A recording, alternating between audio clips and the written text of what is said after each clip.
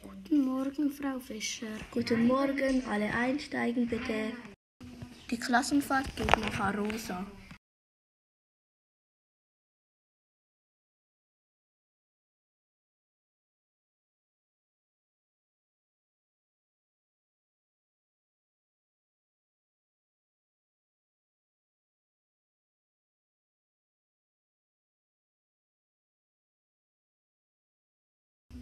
Es gibt drei Zweierzimmer.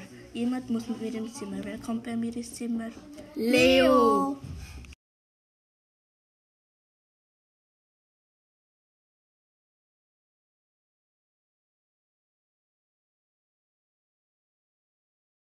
Musste das unbedingt sein?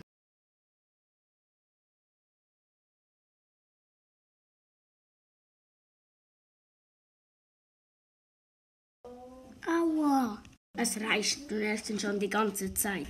Ben, es reicht. Das geht gar nicht. Ich rufe jetzt deine Eltern an und du gehst nach Hause.